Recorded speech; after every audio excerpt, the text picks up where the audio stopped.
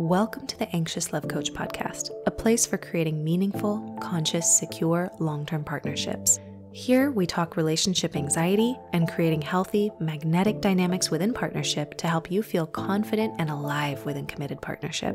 My name is Natalie Kennedy, and I'm your host. I'm a relationship anxiety coach and meditation teacher.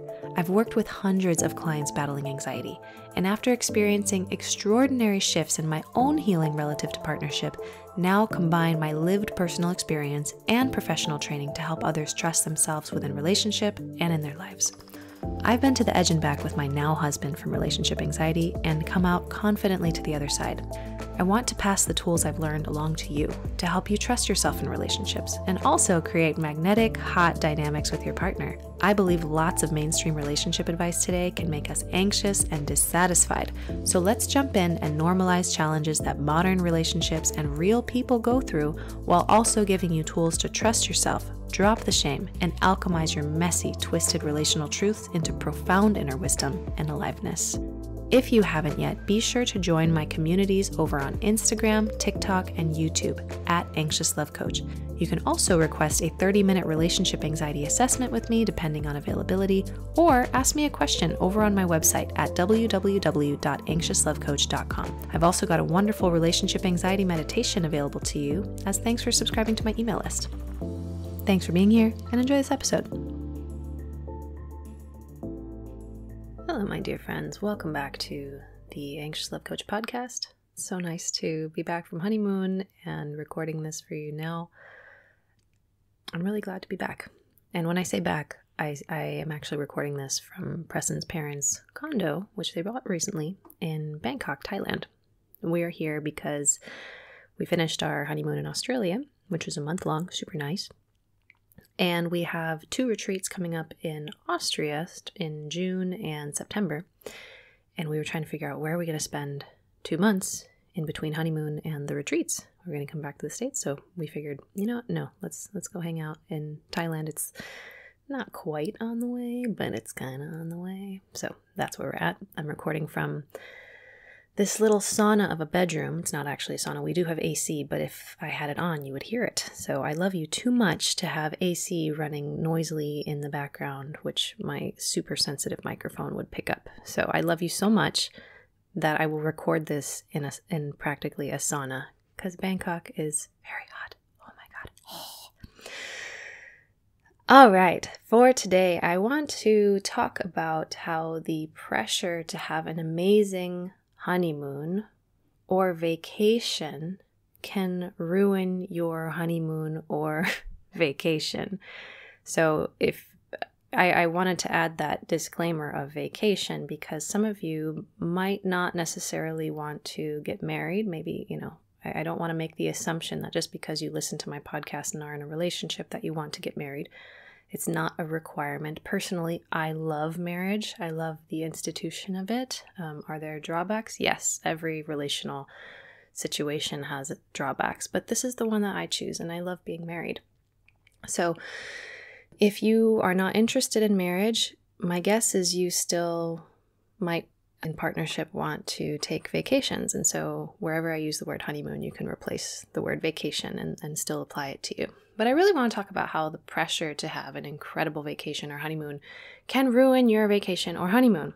Not to say that is what happened to me, although we could argue in either way that my honeymoon was simultaneously amazing and a little bit of a shit show. and not to say that I would change anything because I really love my work, and every time there's a challenge in my partnership, I kind of imagine using it as fodder for the podcast or for future content. I learned so, so much.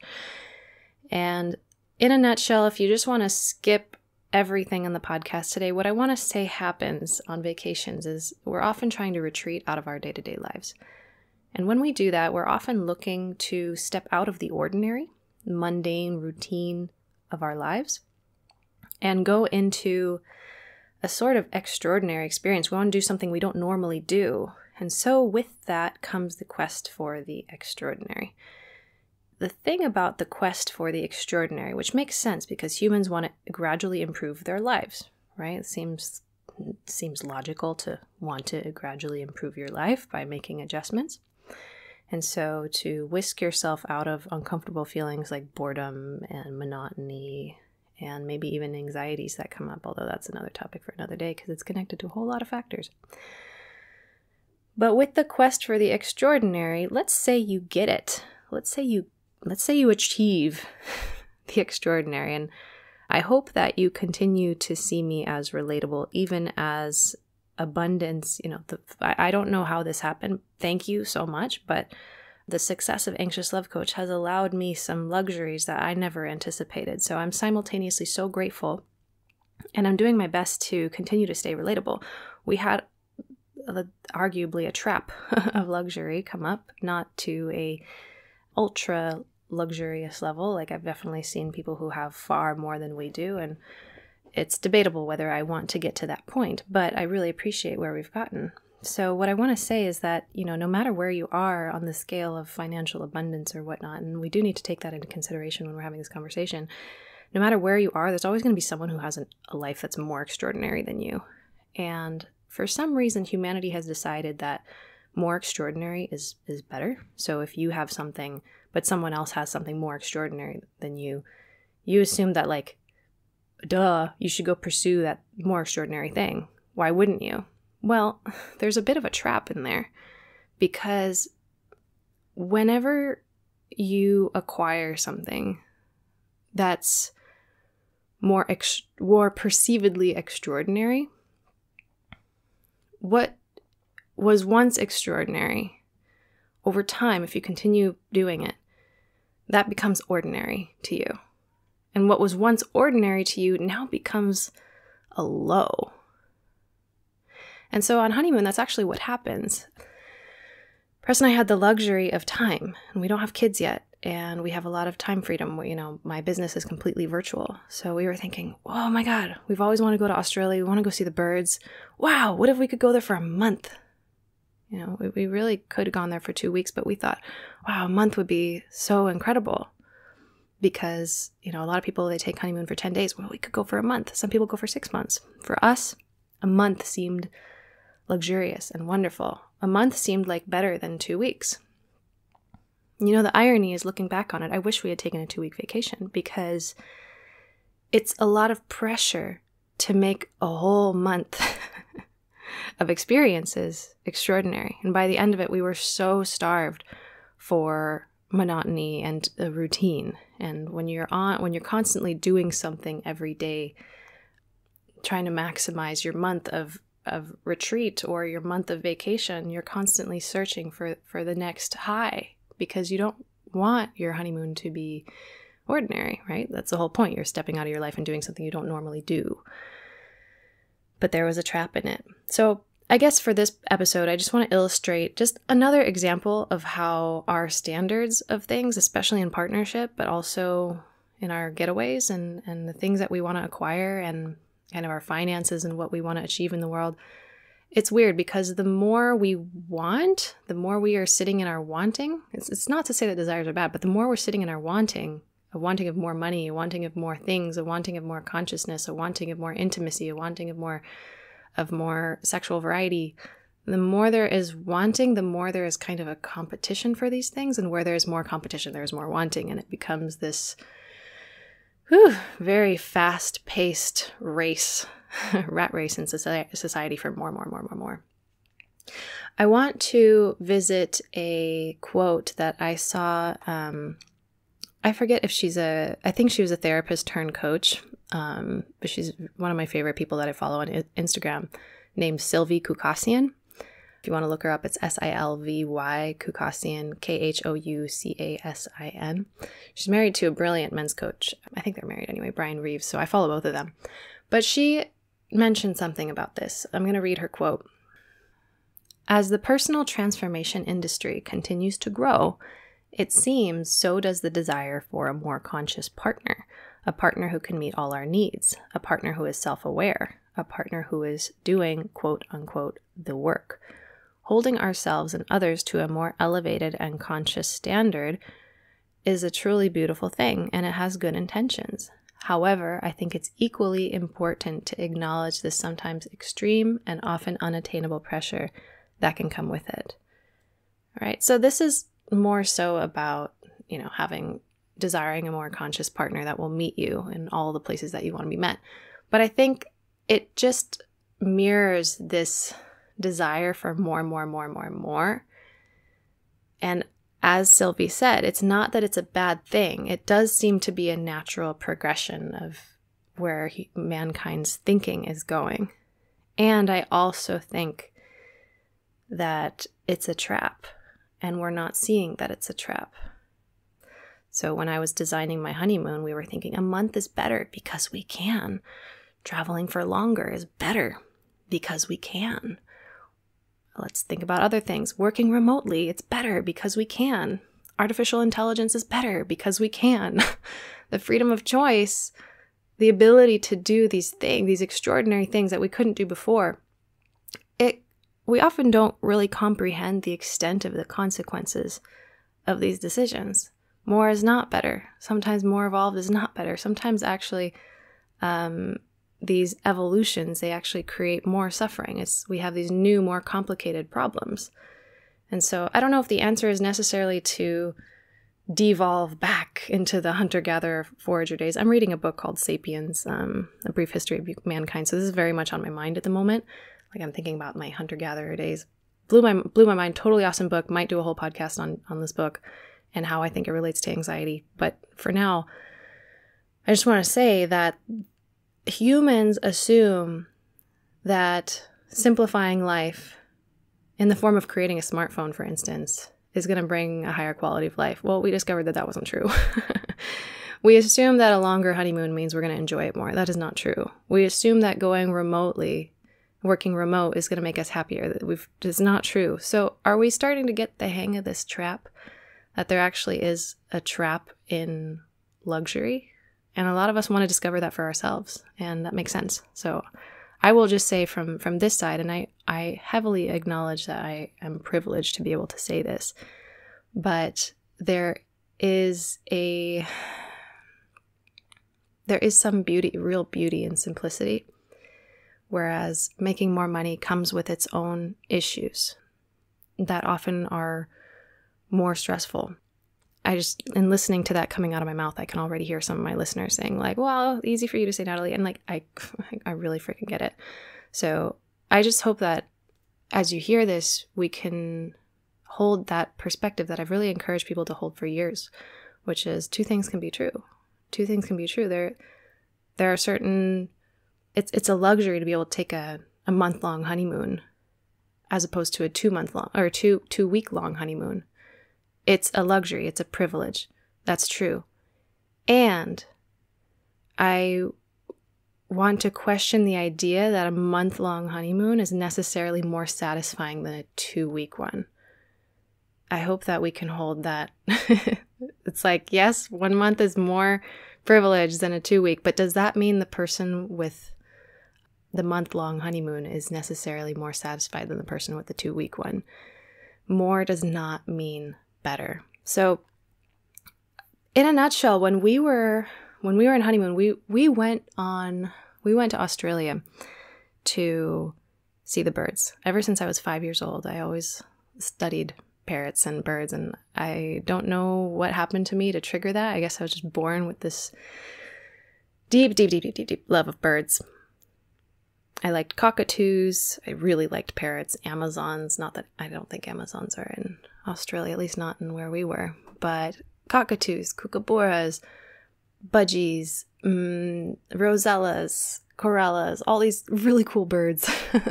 and so many of them are in Australia. So when I was like five years old and looking through the Encyclopedia Britannicas on cool parrots, I had like um, parakeets and a cockatiel, and I always wanted a bigger bird, but Um, I was either in college and roommates wouldn't allow it, or my parents didn't want that level of commitment, which is not their fault. That makes sense. I don't even know if I want that commitment now.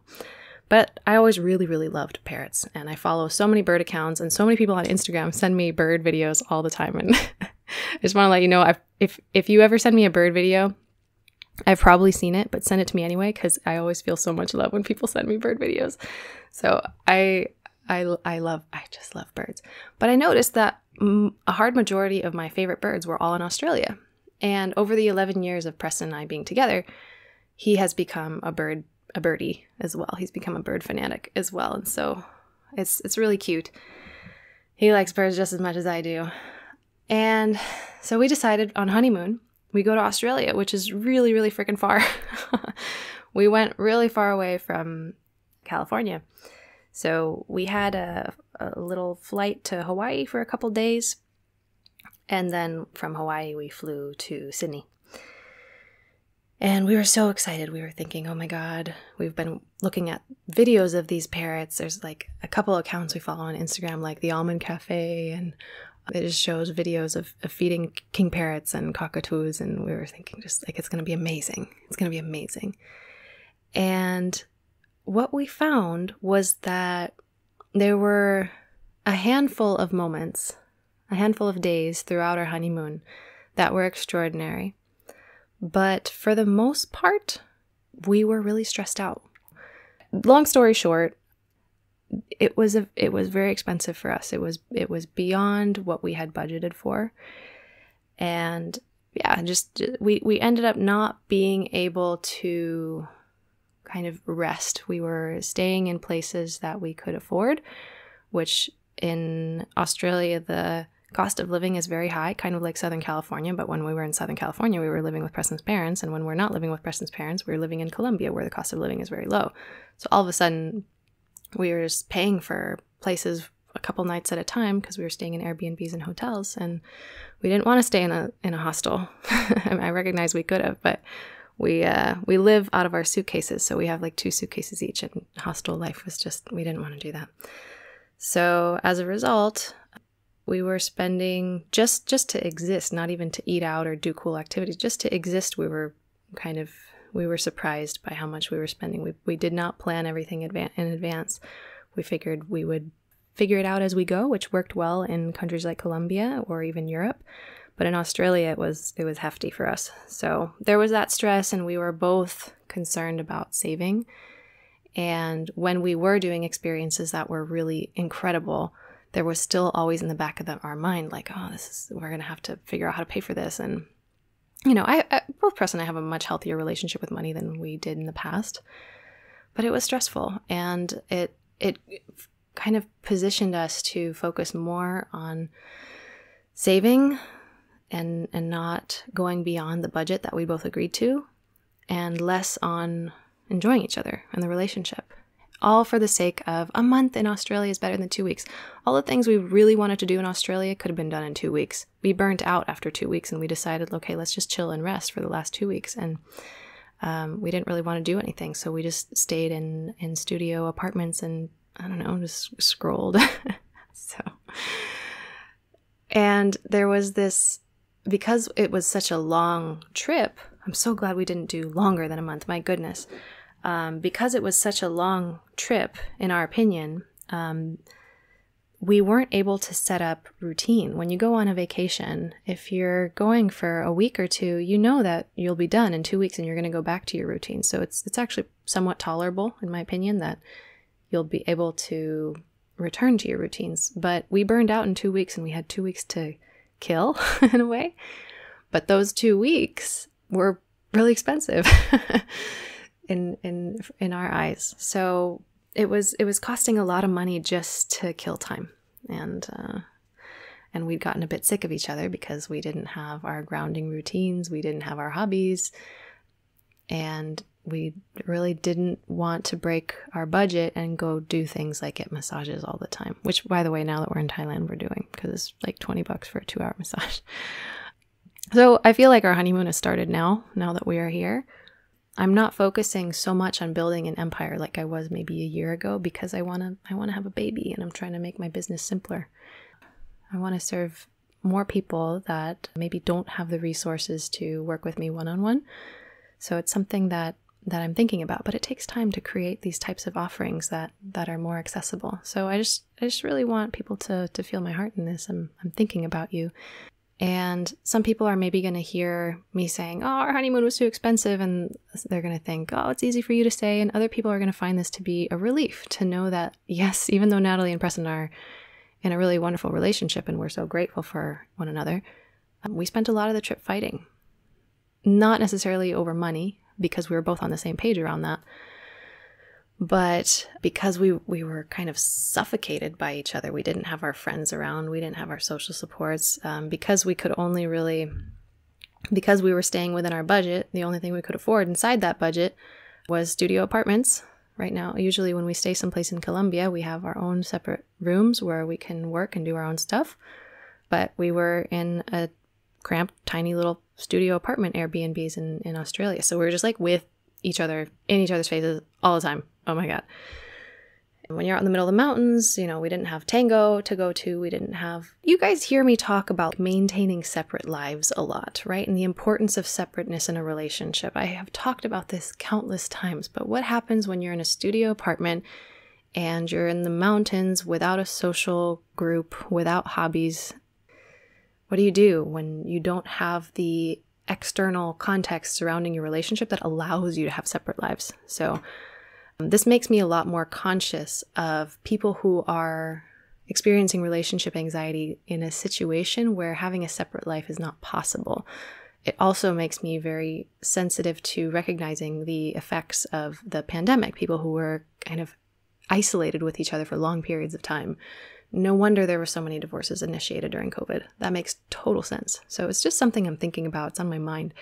If you don't have friends, if your partner doesn't have friends, if you don't have your own separate hobbies, your own separate passions, your own separate lives outside of the partnership, you start dumping all this pressure on your partner to make up for all those things. All of a sudden, I was things I would usually turn to my girlfriends for, I suddenly would hand off over to Preston. He'd be like, What the fuck? I don't know what to do with that.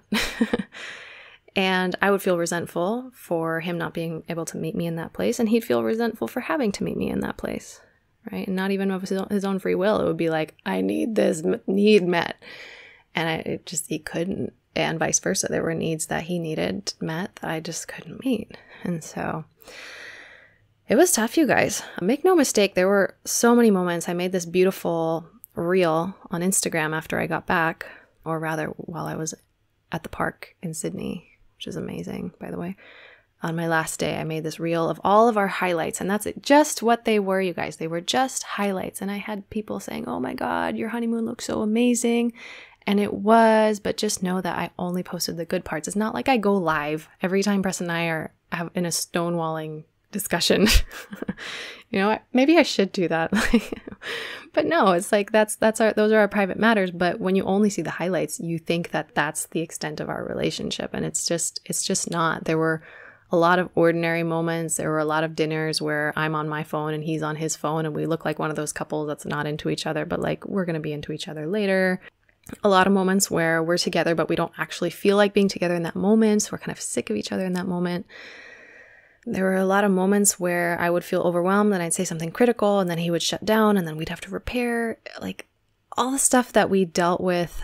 In, in a weird way, we fought more on the honeymoon than we did not on the honeymoon. Like when we have our routines and our day to day things where I'm getting nourished and he's getting nourished and I have lots of things set in place so that I'm fed spiritually, emotionally, physically. When I don't have those things and I can't turn to those things, uh, yeah, and, and Preston doesn't have his social support network, our relationship suffers. And if, if we don't recognize the greater context that our relationship sits inside, then we're going to think there's a problem with our compatibility. And sometimes it is, but in a lot of cases, it could just be that a lack of self care for both people. I mean, just look at people who are in a wonderful relationship until they have kids right? That throws a total wrench in their plan and self care goes out the window, and then we start having problems in the relationship. Not to say having kids will ruin your relationship, but it'll it'll change things, and, and your priorities are going to have to shift. So, says the woman who wants to have kids. Anyway, in a nutshell, we had a beautiful time, but we had a lot of disconnection during the honeymoon. More disconnect than we have when we're not on honeymoon because of a lack of social support, a lack of alone time, a lack of self care, a lack of routine and grounding activities, a lot of pressure to have an extraordinary experience all month long, and anxiety around money. And not to mention, what's the honeymoon about? It's about transitioning into the next stage of your life. So we're thinking about kids and how we're going to provide for kids and la la la la la la. The anxiety was high. And oh, and we're not working. And working, by the way, I love Anxious Love Coach, but it can be a distraction. I can use Anxious Love Coach as a way to avoid thinking about things and feeling my feelings. And so sometimes I go online and I post something and it feels super good and you guys are engaged and we're having so much fun and I can use it as a distraction from my life anxieties. All of a sudden, I stopped working for a month and I had all this time to just think about things. Whew. and when we're just sitting around, we don't have our usual vices. And you just have all this time to think about Yeah, anxiety comes up. so I, I just wanted to to say that our our honeymoon was beautiful and I am so glad we're done. Two things are true. And I I want to talk a little bit too about the whole dynamic of a vacation is there's this constant extraordinary experiences that we're striving for. We're trying to avoid the ordinary. We're doing something different. But it's it's weird on your nervous system if you think about it. And like I said in the beginning, the extraordinary moments on a vacation become normal and something to strive for, and the ordinary moments become lows and something to avoid. And there was a, po- a point where Press and I were at this really nice eco resort type thing for for birds. It's called O'Reilly's, which by the way was awesome. We loved it there. We liked feeding the king parrots and rosellas. But we were there for five days, and there were no gym for Preston, and Preston's gym is like his freaking church. Like he loves working out. And I didn't have tango or Pilates, which right now Pilates is my thing. I'm very into reformers. But I didn't have those things. It's not like O'Reilly's has a Pilates studio. it's not like there's a tango milonga in the middle of the forest. So neither of us had access to our typical grounding things. But yes, of course, the birds are amazing. Of course. This is awesome. We were fighting. We were feeling suffocated and out of our element. We didn't know anybody there. We fell out of our comfort zone. Our only friends were really the birds. And during that time, I had something to say, but as you know, I was off Instagram, so I wasn't posting. So what I did is I pulled out my notes app and I wrote this thing. I, I committed to sharing it later. I did. I actually sent out an email with this note, kind of midway through my uh, my honeymoon. So if you were if you're on my email list, you, you might have gotten it. If you're not on my email list, definitely get on it because sometimes I sometimes I share little nuggets that uh, that I just want to send in a written form, and it's it's longer. It's a longer love note than I can fit into an Instagram post, so I send it on email. But if you didn't get my email, that's fine. By the way, if you want if you want to join my email list, you can do so on my website. Scroll down to the bottom. So here is that note that I wrote to myself but ultimately, I'm, I'm giving it to you as well. So here we go. This is the note that I wrote on my honeymoon. Here's the thing you want the honeymoon to be great. Of course you do. Why wouldn't you? But this wanting puts so much pressure on it to be spectacular. You only get one honeymoon if you do it right, right? So, if this is the one honeymoon, it had better be awesome because you want to do life with this person. So this is it. Get it right. But on your honeymoon, it's likely that you'll be plunking yourself out of your routine. You'll be away from your family and friends and hobbies and silly little comforts. If you stepped away from your work, the silly little comforts of your work are gone too. Nope, none of that is available. Just your husband, who has suddenly become extra annoying, human, inconvenient, hairy, and smelly. Is this who I married? But you're doing all these amazing things, seeing all these amazing sights, eating this amazing food, getting the VIP treatment. My goodness, shame on you. People would kill to be in your position. Why did all those people even bother pitching in for your beautiful vacation just for you to scowl and bicker with your husband? You ungrateful son of a bitch. And yet, these moments wear off like any other spectacular new thing, one right after the other, and suddenly you're chasing the highs, and what were once normals become lows. And you want to avoid those. Because the last thing you want on your honeymoon is ordinariness. We can enjoy ordinary back home. Why strive for ordinary on your honeymoon? But see, you're still you. Your flawed husband is still your flawed husband. You're still the same old farts, just in fancy pants and fancy hotels, drinking fancy drinks. If anything, you're now riding the roller coaster of high expectations and disappointment. Perhaps the freedom is actually in embracing the ordinary along with the extraordinary. And just like in your off honeymoon life, cultivate your own things, your own moments, own connections. And just like in your off honeymoon life, you will feel moments of irritation and disconnection. A honeymoon isn't an escape from difficult feelings. Your honeymoon doesn't always have to be about just you two, because your relationship isn't the only thing that's changing. A honeymoon can also be about who you, individually, are becoming. It's worth taking time in solitude to contemplate and celebrate this new phase in your life, to remember who you are, who you've always been, and who you always will be beyond marriage, partnership, and the external life you'll be creating together. So perhaps if we were to allow ourselves to spend the entire day in our hotel room eating chips alone and reading a comic book, even though there's absolutely stuff to do nearby on vacation that you couldn't do. So perhaps if we were to allow ourselves to spend the entire day in our hotel rooms alone, eating chips and reading a comic book, even though there is absolutely stuff to do nearby on vacation that you couldn't do anywhere else, and yes, you chose not to do that anyway. Oh, the delicious rebellion of enjoying life on your own terms. Then maybe, just maybe, we would actually enjoy our beautiful honeymoons as the extraordinary, ordinary getaways that they were meant to be. Getaways from everything but ourselves. And that is my note. So I hope that that note spoke for itself. I'm not going to add too much for that a brief couple of announcements. I mentioned this in my recent podcast, which, if you haven't listened to it, my guess is if you're listening to this, you probably listened to that one. But the one I just did on breaking free from relationship anxiety, my story revisited, which please listen to that one, especially if you're an avid listener.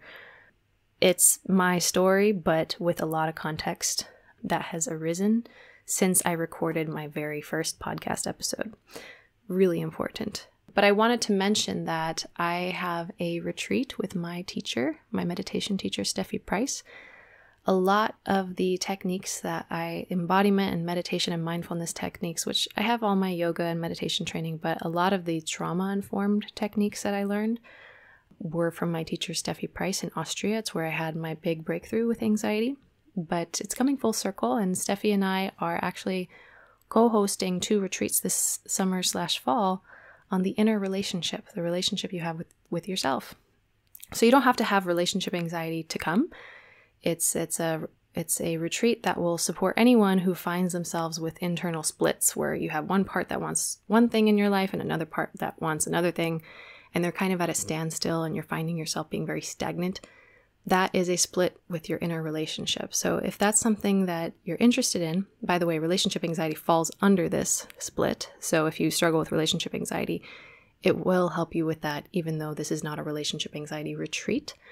But Steffi Price and I are both going to be hosting it at her home in Austria. Um, it's worth noting that this is a very small scale retreat. I'm only marketing it to people who listen to me talk for a long time on my podcast because I want people who are invested and people who trust me um, because I actually have not made like a formal sales page. It's literally just word of mouth. June is like, we have a June one and a September one. The June one is like completely sold out. I have one spot. It was sold out, but one spot opened up. So feel free to email me if you want to jump on that. And I think we have like two or three spots in September. So if you want to grab these spots, please email me. My email is natalie at anxiouslovecoach.com and I'll send you the details. Um, it's a really easy train ride from Vienna. Steffi will pick you up. It's going to be super cozy. And if, like I said, you're struggling with internal splits you're finding yourself exhausted and not able to move forward in your life because two parts of you can't get on the same page, this will help you with that.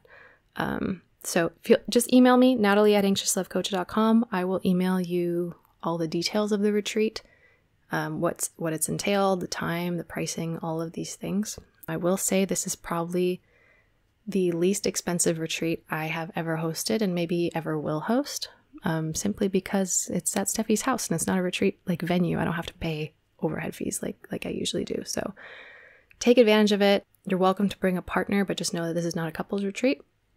What else was I gonna say? Yeah, stay in your own process. It'll be really, it'll be really beautiful. Austria is really gorgeous. One of my favorite places in the world.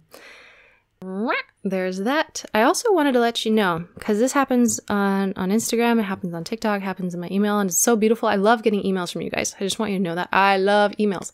However, I don't always respond, and especially if you have like a complex life situation or you know you really want someone to fully understand the complexity of your situation.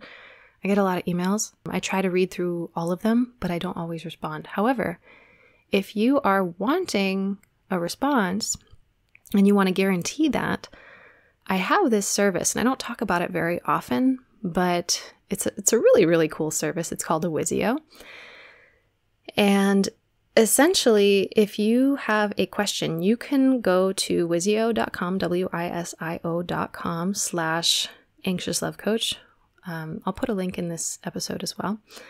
And you can ask me a question with, you can type me a long paragraph and or you can send me a voice note and I will make a thoughtful, customized seven to 10 minute video with my thoughts on your situation. Take it with a grain of salt. A lot of times, you know, there's, it's not like it's a therapy session where I can do a whole intake and, and know everything. So I'm always going to be missing nuance and context, but my heart's totally in it. I have, I, I think I have pretty good reviews on this. You can just use it as a as a second opinion on your situation. I'll do my best to to share what what I see and what I might be sensing and some options of, of what you could do to improve your situation.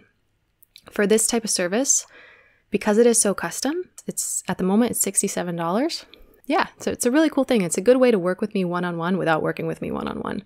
Because working with me one-on-one, it's it's a whole thing. It requires a lot of energy. I, I do right now when I take on a one-on-one client, it funds a lot of my free content. So when I take like three one on one clients, they're in a sense buying me the freedom to serve the masses for free and make podcasts and and Instagrams and TikToks and send out emails.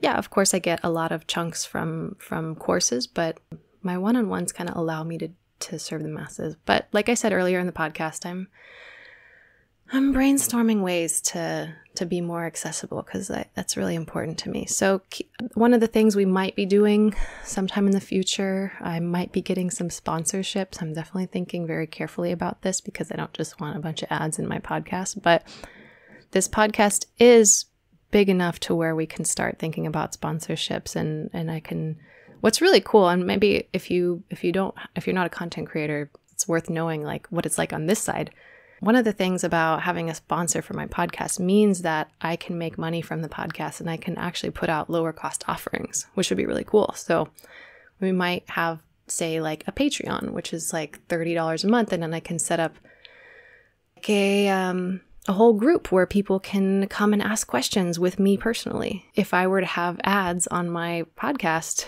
I might be able to do something like that that would allow me to be more accessible. Those are the kind of things I'm thinking about if you know of brands, like if you listen to podcasts and you hear certain products being marketed and, and you like them, please let me know because I might reach out to them to sponsor us as well. And in a cool way, yes, ads will will definitely benefit me financially. But I also want you to think about like how that could benefit you because if I'm getting taken care of doing podcasts, that means I am free to offer more low-cost resources to people. I really would love for it to be a win-win. So just just some thoughts. With that said, I am taking one-on-ones right now. So if you go to anxiouslovecoach.com, you will find the option to work with me one-on-one over the course of 3 months. If that's something you're interested in, please feel free to submit a request for an assessment. I'll take a look at it and, and if I think we can potentially proceed, then we'll set up a call. Or you can submit a Wisio or just keep listening to this podcast that I love making so much for you. I hope you enjoy this episode. All right, everybody. I hope you have a beautiful day. Thanks for tuning in today, and I will chat with you in the next episode. Thanks so much for listening to the Anxious Love Coach today. If you loved this episode, please hit that subscribe button, leave a review, and follow me on Instagram, TikTok, and YouTube. and maybe share it with someone that you believe might benefit from these perspectives. Please also subscribe to my email list at www.anxiouslovecoach.com as I'm trying to reduce my reliance on social media. In exchange, you will receive my free relationship anxiety meditation and more supportive tools sent your way. If you would like to work with me, head on over to my website at, again, anxiouslovecoach.com to explore different tiers of coaching options and online programs. Thanks again for listening and catch you in the next episode. Have a blessed day.